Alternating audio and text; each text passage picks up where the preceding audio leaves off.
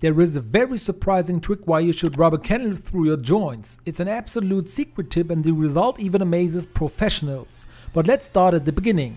The first step is to clean the grout in your shower. Wipe them with a damp cloth and dry them again. It is important that they are completely dry at the end. Now you need a candle to rub through your grout. It should not be a colored candle, but simply a white one. In the best case, a stick candle, because you can rub it through your joints even better.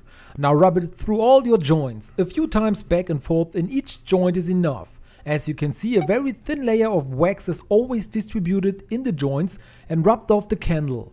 At the end, take your finger and rub it over all the joints once. This distributes the wax better and removes the wax residue that is now hanging on the tiles.